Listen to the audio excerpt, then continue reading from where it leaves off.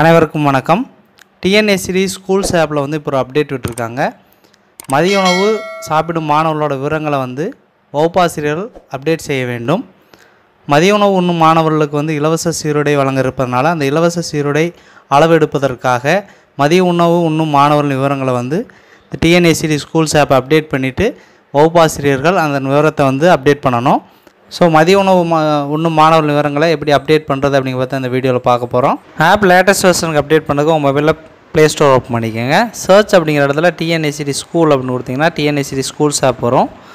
அதை ஓப்பன் பண்ணி அப்டேட் அப்படிங்கிறத கொடுத்து அந்த ஆப்பை வந்து அப்டேட் பண்ணிக்கோங்க.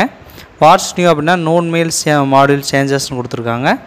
வேர்ஷன் வந்து zero point zero point double nine update ஆனதுக்கப்புறம் அந்த ஆப்பை ஓப்பன் பண்ணுங்கள் ஓப்பன் பண்ணிவிட்டு யூசர் நேம் பாஸ்வேர்டு அப்படிங்கிற இடத்துல பாஸ்வேர்டு உங்களுடைய eight digit user ID password கொடுத்து லாகின் பண்ணிக்கோங்க.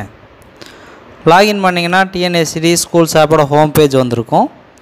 அதில் ஸ்கீம்ஸ் அப்படின்னு ஒரு மூணாவதாக ஒரு மாடியூல் இருக்கும். அதை கிளிக் பண்ணுங்கள் கிளிக் பண்ணிங்கன்னா உங்களுடைய கிளாஸஸ் வந்து டிஸ்ப்ளே ஆகும். அவங்க கிளாஸையும் செக்ஷனையும் செலக்ட் பண்ணிங்க அப்படின்னா இந்த மாதிரி ஸ்கீம்ஸ் ஓப்பன் ஆகிருக்கும் அதில் கீழே வந்தீங்க அப்படின்னா நூன் மீல் அப்படிங்கிற ஒரு ஆப்ஷன் இருக்கும். அதை கிளிக் பண்ணுங்கள் கிளிக் பண்ணிங்கன்னா உங்கள் அந்த கிளாஸில் இருக்கக்கூடிய ஸ்டூடெண்ட் லிஸ்ட்டும் ஸ்டேட்டஸில் நோன் இருக்கும்.